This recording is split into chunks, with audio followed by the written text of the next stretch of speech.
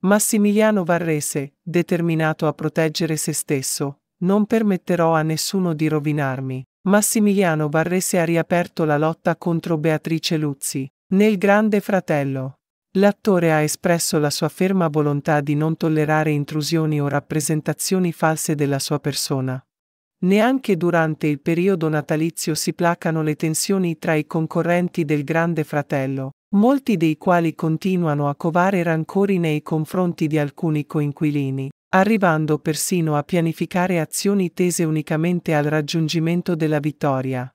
Massimiliano Varrese sembra essere uno di coloro che, agli occhi vigili dei fan del programma, sembra nutrire risentimento nei confronti di Beatrice Luzzi.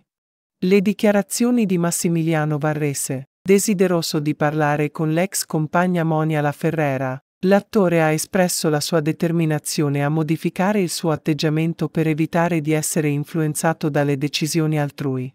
Sebbene in modo implicito, il riferimento sembra essere a Beatrice Luzzi, recentemente tornata nella casa più seguita d'Italia e oggetto di controversie e scontri. Pertanto, Massimiliano Varrese ha affermato, non qui, prenderò un'altra strada. Non permetterò più a nessuno di distruggermi. Ci sono molte cose che devono essere sistemate. Se sento ancora conversazioni simili nelle orecchie, tornerò ad essere il vecchio Massi. Non sarà più il vero me. Il primo è solo un personaggio. Questo è il vero, quello che adotta un tono differente.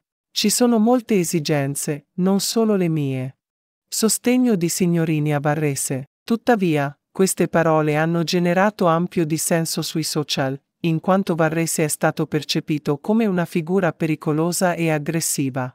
Numerose persone, incluse celebrità, hanno espresso preoccupazioni in tal senso. Alfonso Signorini ha cercato di placare le polemiche, sostenendo che il concorrente del Grande Fratello non corrisponde alla rappresentazione offerta sui social, dove viene dipinto nella sua peggiore versione, quando in realtà sta interpretando un ruolo. Inoltre, prima del Natale, in varie occasioni, Signorini ha richiamato Varrese per il suo linguaggio, e l'attore stesso ha ammesso di essere in una sorta di recitazione.